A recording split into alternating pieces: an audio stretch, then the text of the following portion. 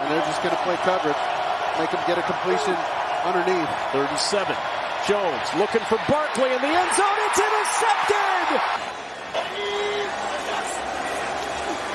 Little stutter step move by Parsons. Jones fires, and the pass is intercepted by the Lions cornerback Jeff Okudah out with a head injury. That's a shame for him. Here's Jones back to pass, and it's intercepted. Aidan Hutchinson has another one, second of his career. Four man rush. Jones steps into it, throws over the middle, high, and it's intercepted. It's picked off by Kerby Joseph, the rookie, with blocks into Giants territory. Joseph. Deep drop again. Jones downfield and picked off.